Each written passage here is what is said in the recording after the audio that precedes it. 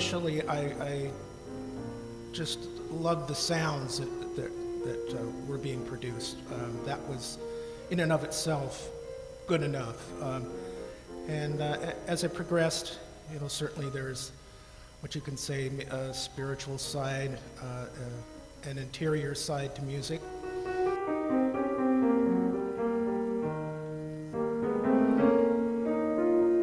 I remember watching her play I was maybe four or five years old, um, and was fascinated by what I was hearing and, and the sounds that she could produce. It just it seemed like magic, um, and I in, also enjoyed just the mechanics of the piano. Looking at the inside, uh, I, I like watching how the hammers would move, uh, just the mechanism itself um, being being a small kid, it was such a, uh, a huge instrument, you know. Uh, so it was kind of awe-inspiring. And uh, so I, I, started picking melodies off the radio uh, at, around that age. Um, and mother noticed that I was doing that um, and I think started teaching me out of some basic books.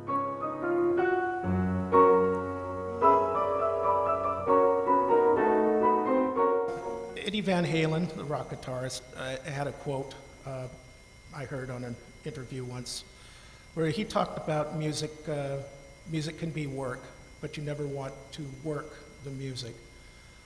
Um, and I've, I understood uh, immediately what he was talking about. Um, the, the, music shouldn't be burdened uh, or labored over. Uh, there still should be a spirit of uh, freedom within it.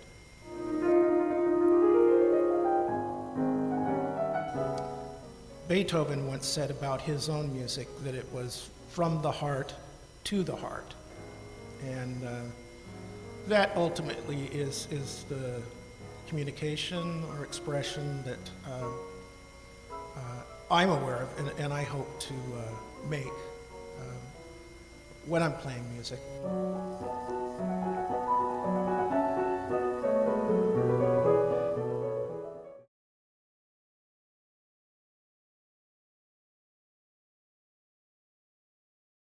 If I have a pattern, I tweak it.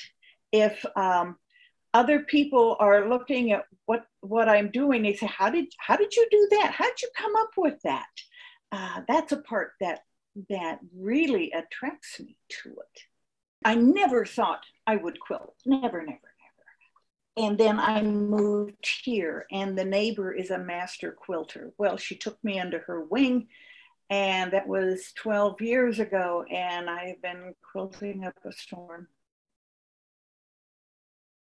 The art form itself is so unique to each person. With quilting, there, there's three major variables. There's the pattern, you know, how you put the pieces together.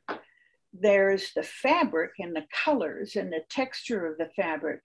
And then there's a final quilting piece where you put all three layers together and quilt a pattern over that. And I have done exactly the same quilt in two different fabrics, uh, in switching out only the light and the dark in the placement and the pattern and you wouldn't know they were the same quilt. And that's the part that intrigues me. After our beloved puppy died, I needed to quilt. I didn't want to do anything else but quilt. I wanted to just focus on the, the colors and putting them together and getting it right. And the pattern that I chose is one I will call a shattered window because the lines go in different directions. I love it when it messes with your head that you have to look and see where the pattern is.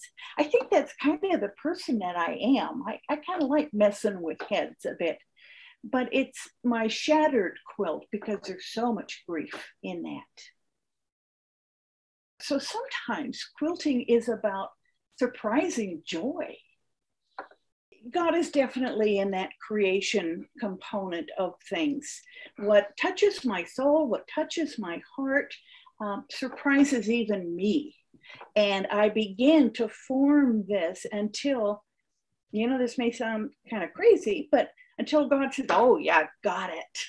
And then I put it together right at the end of making the quilt, you have to bind it. You put a, a thin piece of fabric around all the edges, and then you sit there and hand sew it on.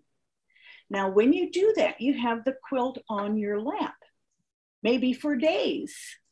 And for me, that's when I put the love into the quilt. So when that quilt is given away, uh, it's given with a lot of love into it. And I like that. I think that's a God component also.